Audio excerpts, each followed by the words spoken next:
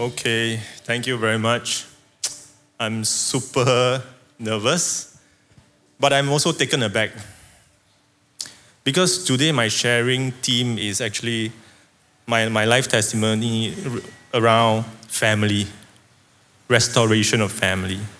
So just now when the pastor prayed about interceding for family, I think God is super relevant. Super relevant. My theme today is It's not me, but Christ in me. My situation in my life, God restore my relationship with my family, especially my family. Today, my testimony actually, I'm 44 years old this year. I married uh, five to six years ago. I was three time imprisonment. When my youngest day, when my, my teenage time, I was uh, I joined a gangster street gang uh, in Beach Road. So I was, uh, I can't find any goal, especially I think, during my younger time. So I start to be on the street, mixed with people that I thought is good, that I, I, I long for recognition. I long for recognition. So I became a gangster, and slowly I start to take drug. And drug indeed not only destroy me, destroy my whole family. And the brokenness in me, only Jesus mend it together. My first imprisonment was 2002 to 2003. It's only one year. But that one year, I did not take it seriously. I did not reflect on it. I thought it's okay, it's just like a holiday camp. When I go out, maybe I become a bigger gangster. I can grow in my rank. So, but when my during my first imprisonment, uh, actually I was, uh, I came from a Methodist school. I came from a Methodist school. So I heard about Jesus during my secondary school time. There's a chapel service during my secondary school time. So when I was in prison for the first time, they have chapel service also. So there's this song, As a Deer Panteth for the Water. So I resonate so much that I, I indeed I feel that, hey, something is in, in me is Christian, or something in me, oh, God have something in me. But the seed is like falling on thorny ground like the sower falling on thorny ground. I receive the word, I go out of the chapel service, I live my own life again. So that was my first imprisonment. My second imprisonment, very fast relapse, very fast relapse. I go out not even about one year. I was caught trafficking. This time round, the second imprisonment is 2004 to 2008. The government sentenced me to six years and four months imprisonment with rotan, with stroke in the buttock. So that time round, I fear already, I scared already. I think I'm about 20, late 20s. I, I do, but I do not know how to change. I don't know. But I, I, I saw that a lot of my friends, or some of my friends, actually go to church after their imprisonment and become better. So I thought church is like a medication. If I release, if I go to a church, I take medicine one week at a time, I can be safe for the next six days. But indeed, it's opposite. Because I did not, I'm not serious in my faith back then. I was just out for two years. I fall back to my old life. It's indeed like the sower again. The seed fall on hardy ground, rocky ground. It grew a little because I was there. I came to church. I played church like Sunday. I punch card. Then maybe Friday, I also go to a cell group. But it did not take root. The things in my life, the wants, the desire, a lot of things. So I fall back to my old ways again. That was 2008 after I released. Then, not long after, I break the law again. I was caught again. I fall back into drugs again. I fall back into my old way of life womanizing, drugs, friends, drink. I stopped going to church. And then, same thing, very fast. I go back into the prison again. This time around, the prison term is seven years and nine months. I don't know how I can finish that sentence. That was 2011. That was 2011. So within that sentence, when I was serving in the prison, I actually give up all hope. If I can change, I will change most likely the first time imprisonment. If I can change, second time, maybe can change already what? But the third time imprisonment, I give up all hope. My thought is that even I release from prison, most likely I will just come back again in a few years' time. Because I was labeled as hardcore prisoner. I was serving my LT sentence. In prison, LT prisoner is hardcore drug addict. Though I don't look like, but indeed I am because of the sentence laboring. But thank God, there is an encounter during that period of time. I do not know how. I still continue to pray, but my prayer is half belief, half wavering. Though I'm not serious, but God is serious. So during my imprisonment, the last second or third year, I've forgotten, my grandparent passed away. First, my grandmother passed away. So during my grandmother passed away, my sister came to the prison and asked me if I want to visit my grandmother wake. So they have compassionate leave. But with this compassionate leave comes with some entang- uh, some things that you need to do. They need to shackle your hand. The, the prison staff need to shackle your hand and shackle your leg so that you can travel in their van and go to the funeral and pay your respect. So I was taken aback. I was thinking, should I go or should I not go? I have already caused my family so much burden, so much brokenness. My whole family actually is so broken to me. I can't talk to my father. Whenever I talk to my father, we will start quarreling. I can't understand my mother because I was not there totally. Even when she's in pain, when she need to go to hospital, when she need to go to somewhere, the clinic, I was not there. I thought I was responsible, but in fact, my action is totally different. Even my sister, two years older than me, she's serving in the church. Previously, no. At home, we have no communication, zero. We can't communicate with each other. I do not know why, because we are so, I'm so self centered in a way. We are so selfish. The way we live our life, we thought we are so gung ho. We thought we are so royal, but our royalty is always towards the wrong thing, the wrong people. Our priority is totally mixed up. But through that encounter, God did something in my life. I agreed to visit my grandmother in the funeral because I do not want extra regrets in my life. So during the trip, when they shackled me and put me in the van and sent me to the funeral, I was one person in the van. I was enclosed. The van cannot see outside because prison van, if you know, inside is dark, outside you cannot see. You don't even see the main road, you don't see everything. That was like a feeling when I read the book of John, the woman in the well that met Jesus. And Jesus told her everything about her life. In that van, I experienced that same thing. I was thinking through the whole life thing flash in front of me. What did I did? And I didn't even, I say I love my parents, I say I love my grandmother, but I did not do anything for them. And now I'm going just to show respect. I'm like, I'm like hypocrite. Standing there, wanted to show respect, but yet I did not do anything. God just showed that into my life.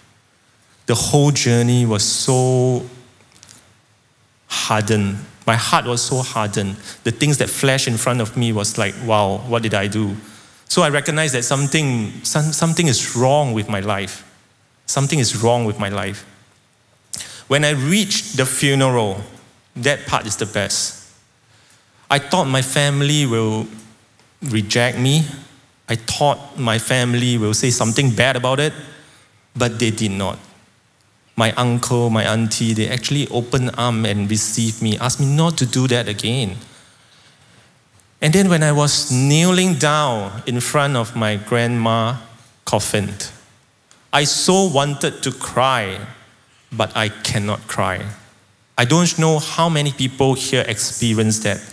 When you so wanted to cry, but you cannot cry. The tears come in your heart, but not in your eyes. That is how hardened I am. That is how broken my family was. But thank God that God changed everything. I was released eight years ago, eight years till now. My last imprisonment after my grandmother's funeral, one month later, my grandfather died also. So my grandfather died. I need to go to the funeral again. So the whole process go back the same way. I was shackled. I was in the, in the, in the van. The whole woman in the well thing come all over my face. And I travel all the way to my grandfather's funeral. I kneel there. I cannot cry. I go back to prison. I was put in a one single, single person cell. Something resonates. Some music, some, I, I'm not sure, but I think it's a hymn that I've heard and I knelt in the prison cell, cried. I was broken. But God changes don't just change right away. It takes so much time, so much intention, so much difficulties, trial. But it teach me one thing that it is through trial that we will appreciate the love of the Lord even more. So upon my release, I'm still not sure. I don't know how to change. I do not know I need to go to the right or I need to go to the left. But in God's word, in Joshua, he said, Don't look to the right nor to the left, but meditate upon the word of the Lord day and night. So I start praying. I pray that I will do something different. I don't want to do the same thing and hope for a different result. Because I know if I do the same thing and I hope for the different result, things will not happen. But God is good. God sent a friend, a close friend, a mentor that come to visit me in my halfway house. He told me one thing Do you want to come to a church? Do you come to work for me? Do you want to go to my cell group? My cell group member is here also. So I thank God that God softened me and I agreed. I have other choices, but I, I pray that I have the strength to say no to other choices, but choose something that is in God's will. Then I start to realize that our life, if it's not in God's will, if it's just me in control, things will never work according to, to, to His will.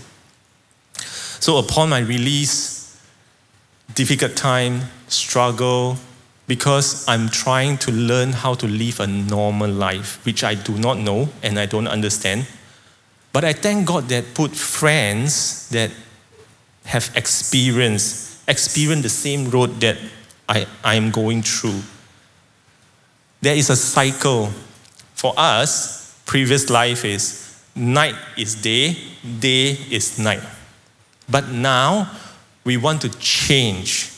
Day become day, night become night. So I need to wake up at 6:30, take a bus, take a train to the place I work. Then I work for eight to nine hours. I try my best. Then I take a bus, take a train, go back home. Then I need to go to church. Then I need to take a bus, take a train, go to church. Then after that, go back home. This is something everybody is doing, majority people. But to us, at the age of 37, this is totally alien. This is totally alien. But God is good.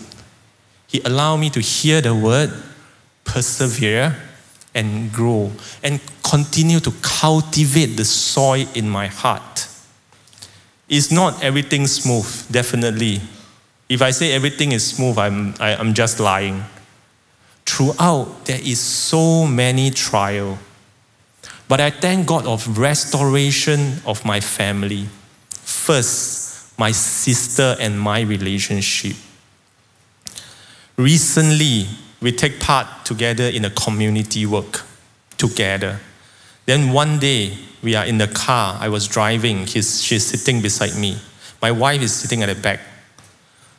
I, my sister and me, our conversations surround the goodness of God in our life. We are saying that hey, how God is good, how God, uh, we're, we're talking about the parable, we're talking about hey, how we can do this, how we can do that. Previously, zero conversation. My sister life is also difficult. My sister life is not like beautiful. Since young, the brother go in and out of prison. She's the one that taking care of the mother. She's the one that spend time with the father. She's the one that carry the burden of the family, not the brother. But because of this, God put us back together. The cracked line in my life becomes so beautiful the brokenness that God pays together becomes so beautiful. My mother, especially, my mother was baptized in the church here. I'm thankful that God really hear our cry. That He says that one person believe, the whole family will be saved.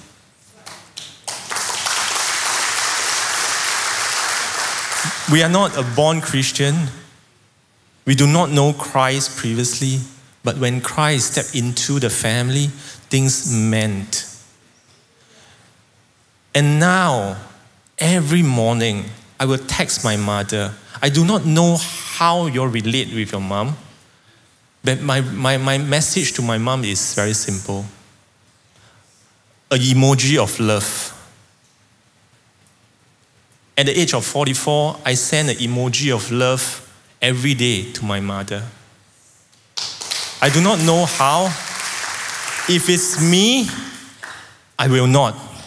Previously, I aspire to be a gangster. I want to be, wow, a, a 大哥 or something that, wow, I can control some gang member. I want to be a very manly man. But God broken you, change your heart, stir you, squander you to be soft, to be intentional in your way of love. It, it helped me in such a way. And now, even sometimes I send parables to my mother. Then there is occasion when she asks me, hey, how come uh, Jesus, uh, why can be so like that? Uh? To die for people that he do not know. That is the conversation between a mother and a son. That previously is only hurt, it's only pain. At one point, I believe he don't even want to see me because when I go into the house, it's only pain. When I go into the house, it's like, you're going to bring trouble again. But when God steps into our life, things changes. When God steps into my life, things changes. And my father, my father, my father has the same character as me we are playful, we want to enjoy, we want to be totally, but we cannot talk to each other. Whenever he, he tell me something, whenever he tried to teach me something, I got zero respect at that point of time. Because I don't see him, I don't see him as a fatherly figure at that point of time. But when God changes, these eight years, I slowly learn one step at a time. It's not sudden changes, but intentionally we will call each other. Intentionally we'll meet up each other. Intentionally now, whenever she go to Malaysia or I go out of the country, I will give him a call. I will let him know that where I am. And just yesterday, I text and tell him, today I'm going to Lighthouse. I have a sharing. Do you want to come? And he said, Actually, a few days ago, I want to ask you, or I want to come together already.